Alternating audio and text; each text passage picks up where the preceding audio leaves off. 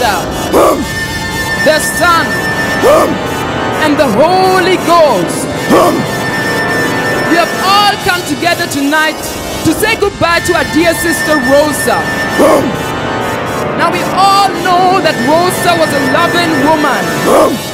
And Rosa was a caring woman. And our hearts bleed for the fact that she has left us. And we say to the Lord, Lord, why is it that you give life only to take away life? And the Lord says, These are my ways. You cannot understand my ways. So all we can do is accept and say we are happy that Rosa had children. 175 and grandchildren 247 so nowadays we look and we see the soul of Rosa live forth and all we can do is say Rosa may your soul rest in peace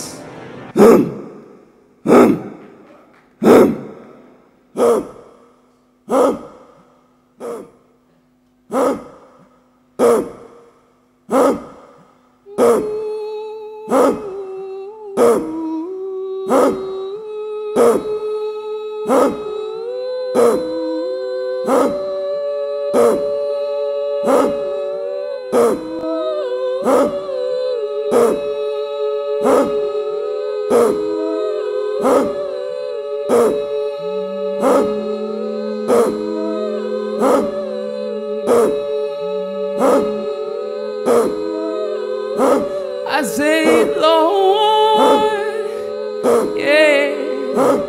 you promised to take care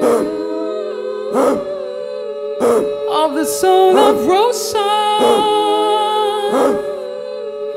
Death has caused her eyes to stare. Holy ceremony. She will soon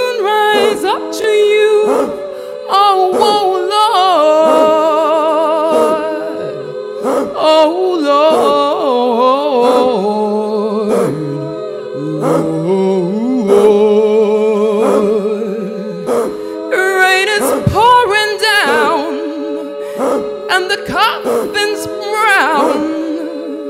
Full of mud they have placed it on the ground for her space.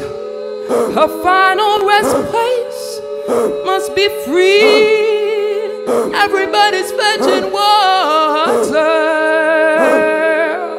What I say, don't quite understand why holy Auntie Rosa is lying on the muddy ground. I say, oh Lord,